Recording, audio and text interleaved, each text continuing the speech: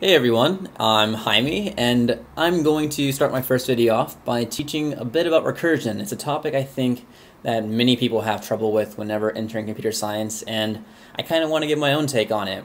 Um, I'm actually going to borrow a response to a Quora post asking about how can you explain what recursion is. And before I dive into the actual explanation, let's talk about what recursion is. So, recursion is the idea of taking one large problem and combining subproblems of the same problem to figure out the large problem solution. That may seem a little weird, may not make sense right now because articulating recursion is fairly difficult. But let me just go ahead and go into the example. Let's say my friend and I, um, I'm to call my friend James. so James and I are going to watch a movie. We're going to watch Dark Knight, Batman, right? And it's the opening premiere of the movie. And as we go inside, we realize that we're going to have to wait a really long time if we want to get snacks and go inside. So I decide, hey, James, you get the snacks and I'll get the seat. And I go inside, I get the seat, and it's right in the middle. So let me let me draw this out. I have my movie theater here. It's a big, big, great movie theater with the rows and whatnot. And I got this smack dab center row of the entire theater and center seats right here for James and I. And as I'm waiting, he calls me and says, Hey, where are you? And I see him, he's standing right here, he's holding popcorn everywhere, he's ridiculous. And he's, I'm, over, I'm standing up right here, waving my hand, saying, Hey, I'm right here, but he can't see me because everyone else around me is doing the exact same thing. And so he says, Okay, well, what's your road number? If you know the road number, then I can just go straight up there and meet you right there. Well, I asked the person to the left and right of me, and they have no idea what the road number is because who who looks at the road number? I don't look at the road number. If you look at the road number, then you're awesome. But hey, most people, I don't imagine look at the road number. And so I asked the person behind me, "Hey, do you know what the road number is?" He says no. And the person in front of me, does she know the road number? No, of course not. No one knows the road number. And you kind of just sit there thinking, okay, well, I need to figure out what my road number is. Otherwise, he's going to stand there and we're not going to be able to get the awesome snacks. You know you really want the awesome snacks. If you're in my shoes, you would definitely want those snacks. So you see the guy in the first row, and you say, "Wow, if I was in the first row, I would clearly know I was in the first row." I mean, my view would suck, but I would know I was in the first row. And you come up with this great idea. So since a person in front of me doesn't know what his row is, I mean, if he knew what his row is, I could just add one to that, and that would be the answer. I like I would have one plus his row. But if he doesn't know, then why doesn't he ask the guy in front of him?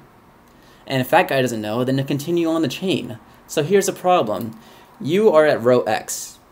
You're going to ask the guy at row X minus 1. They don't know. Then ask the lady up at X minus 2, and so forth. And say that the guy at X minus 3 happens to know, then clearly, like if this guy was at row 13, then X minus 2 has to be at 14, then 15, and then 16, and then you know you're at 16. And, and why is this going to work? Because if you go all the way down, where you end up being at X minus X, or sorry, x minus x plus 1, that, that person's at the first row, right? Because just take that out, you have row 1. Row 1 must know that they're at row 1. So as long as someone along the way will know the answer, then everyone can know the answer. That's the beauty of recursion. You take the subproblem, as long as one person is guaranteed to always know, as one thing is always guaranteed to know the answer, then everyone else can figure the answer as long as you can combine a subproblem into the entire problem. And that's the that's basically what recursion is. It's one instance of recursion. And how can we apply this to other topics in computer science? So let's say that we wanted to write a function that could figure out the powers of 2, right? So you pass in some integer x, and it gives you the answer, what's 2 to the x, right? So we're saying 2 to the x equals what? Well, let's think of the, the initial definition, like what is guaranteed to always be true?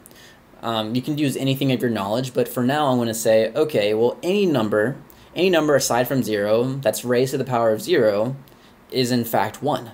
So we can say, okay, if x happens to be 0, say we're saying 2 to the 0, well, that just equals 1. So I'm going to return back to you 1. Alright, well, what if what if we don't have it as 0, right? Like, let's say we're this case where we're at x, right? So we're at 2 to the x.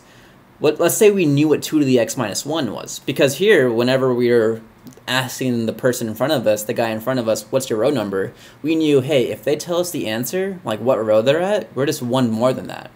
So what can we do with 2 to the x minus 1 to get to 2 to the x? Well, simply, if you multiply it by 2, we, we get 2 to the x. So all we have to do is say return 2 times the answer to the subproblem. And that will give us the power of 2. As, so if we give it like 3, then we say, okay, what's power of 2 with 3? Well, 2 to the 3 is not, this is not 1, so return 2 times power of 2. Alright, so we call 2, and that calls 1, and next call 0, and 0 says, hey, I know I'm 1. So the answer for yours is 1. 1 says, I'm 2 times that, so it's 2, 4, 8. And that's basically how recursion works. Um, I wanted to just give my own example uh, and help you all out a little bit. I plan on making more of these videos about random topics, things that I learn in my own free time, and things that I just want to teach others about because I love teaching computer science. So if you like the video and you want to see more, please subscribe and like it, and I hope to see y'all often. Thanks.